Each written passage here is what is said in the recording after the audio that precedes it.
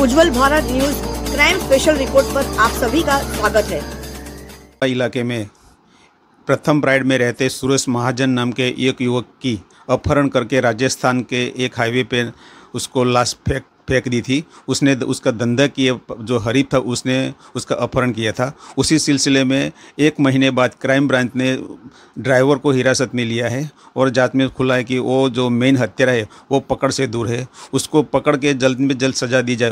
वो वो उसको वो आशय से अहमदाबाद के प्रथम फ़्लाइट से नरोड़ा गाँव तक एक स्कैंडल न्याय माटे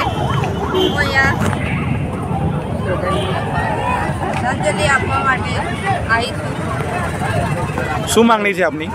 મારી માંગણી એ છે કે મારા હસબન્ડને જલ્દીથી જલ્દી ન્યાય મળવો જોઈએ. કે ચાર મહિના થઈ ગયા છે હજી આરોપી નથી પકડાના. તો મુખ્ય આરોપી હજી નથી પકડાનો છે.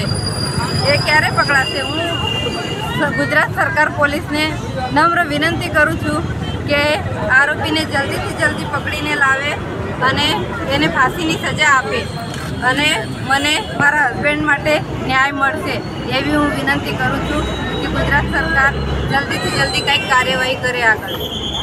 અને હું પચીસ, વીસ, પચીસ દિવસમાં જો આરોપી નહીં પકડાય તો હું આંદોલન કરીશ. અમે વીસથી પચીસ દિવસનો ટાઈમ આલીએ છીએ સરકારને. જો આરોપી ના પકડાય, તો એના પછી અમે આંદોલન કરવાની જરૂર પડશે તો એ બી કરીશું. અને ધરના કરવાની જરૂર પડશે, એ બી કરવા માટે મારા સાથે મારી રેલીમાં આવેલા બધા સંયોજક છે. એટલે હું સરકારને નમ્ર વિનંતી કરું છું કે વીસથી પચીસ દિવસમાં મેન આરોપી પકડાવવો જોઈએ. એના પછી મારે ધરના માટે કમિશનર ઓફિસ જવું પડે કે વિધાનસભા જવું પડે ત્યાં હું જવા તૈયાર છું. મારા ભાઈના આરોપી અત્યાર સુધી પકડાયા નથી, જેના માટે ચાર મહિનાનો સમય લાગી ગયો છે. એટલે મારી માંગણી છે, સરકારે સામે બસ, બીજું કશું નથી.